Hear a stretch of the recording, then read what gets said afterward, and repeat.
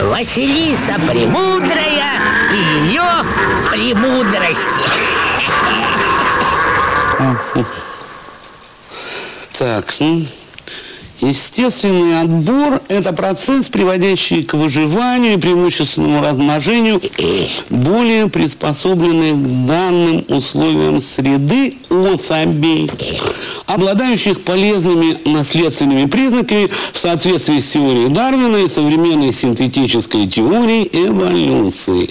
Основным материалом для естественного отбора служат случайные наследственные изменения, то есть мутации и комбинации.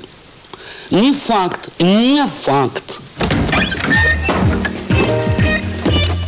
Ой, здравствуй, Василисушка. Все читаешь? Да, царь-батюшка, вот а занимаюсь самообразованием. Не всем же по дискотекам шастать. Не зря тебя Василисой Премудрой зовут. Да уж не зря.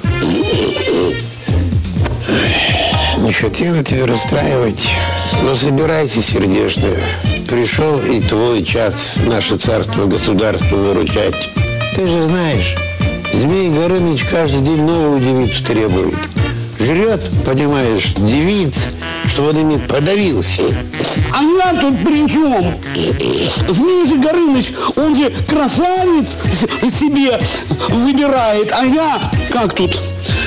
Не обладаю яркими внешними признаками, привлекающими самцов в брачный период.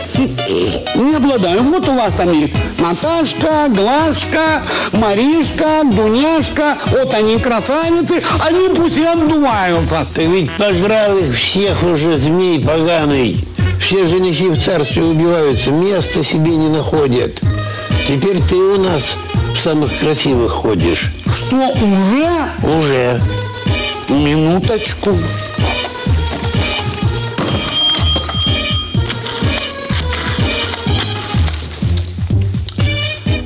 Алло.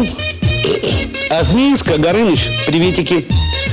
А, это я. Слушай, ну все, спасибо, дорогой. Можешь домой возвращаться. А если мне твоя помощь понадобится, я тебя опять призову.